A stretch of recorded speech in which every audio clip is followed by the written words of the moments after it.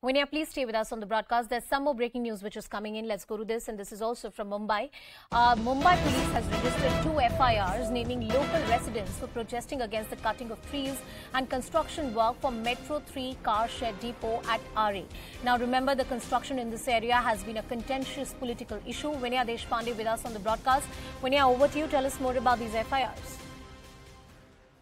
As of now, we know that the Mumbai police have registered two FIRs in the Aarey matter, and this only means that the matter is going to go, uh, you know, explore further because, as we have seen, there have been constant protests by the Greens at the location. Just yesterday, late night, we saw several people gather at Aarey claiming trees were being cut. Just a few days ago, Mumbai police had also blocked the approach roads to Aarey.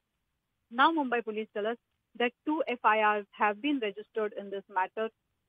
One FIR is for trespassing, whereby uh, three persons uh, tried to enter into the construction uh, into the area mm. where Metro Car Shed is being constructed. Uh, there, uh, the police registered the first FIR. The second FIR was registered late night yesterday against 16 persons uh, for after they were protesting Metro car shed, uh, near the Aarey Metro car shed location, uh, saying that trees were being felled in that area and that they will not allow felling of trees. So right now, uh, okay. uh, we see that there is a constant tussle.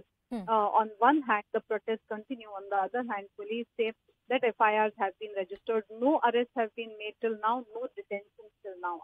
Thank you, Vinaya, for getting us all the details on that very important story. Let's see how the investigation goes forward in this case. The construction around the Aarey area continues to be a bone of contention between the political parties in the state of Maharashtra. That and much more on the other side of a very quick break. Stay tuned.